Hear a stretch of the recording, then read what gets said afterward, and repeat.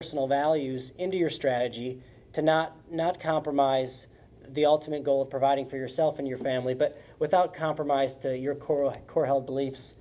And there's many ways to do it. And I'd say just in this real brief, in this brief kind of overview, high level, if you have questions about the ESG compliance of your own portfolio, maybe um, how well integrated your own views are in your own portfolio. Our team and I can do a, an ESG audit of your portfolio to take a look at what you have under the hood and take a look to see if we can better align to your core values.